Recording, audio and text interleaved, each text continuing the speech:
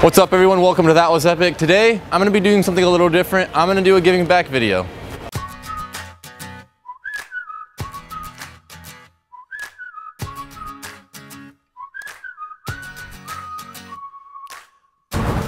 Alright. Hey man, how's it going? What's up, how you doing? Good, what's your name? Glenn. Glenn. Hi, my name's Juan. It's nice to meet you. Where are you from? Where are you living these days? I stay at the shelter. Fortunately, we're out here giving out uh, care packages. If you're interested, I got one here. You can check it out. Really? I wanted to, I wanted to offer you one. Yeah. Basically, you can go through that. There's a there's cool. a few Oh, necessities in there. You like either one of these? Yeah, I'll take that one. Okay, cool. Where are you guys from? A church or something? No, I'm just uh, I'm from Tempe, Arizona. There you go, man. That's cool. Yeah. Thank you very much. What's your purpose? Is being a good Christian or something? No, I don't go to church. All right, I just great. like I just like to help people. All right, I appreciate it. Yeah, man, and uh, help me? You got something absolutely. Of course, I have something for you.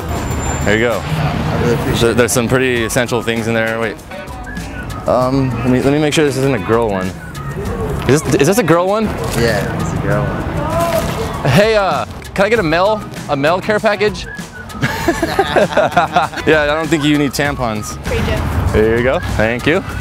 All right, there. Let's try this again. Oh, you like this one? Purple, no, the purple one. Oh, purple of one. course you I'm sorry, but these are great bags. I don't know where you guys got them. You guys do it. Provided, thinking about some regrets, you know. And we all have those regrets in our life. Stay Trying to, trying to let them go. Alive and healthy. We're out here in Seattle today. We're giving out these care packages.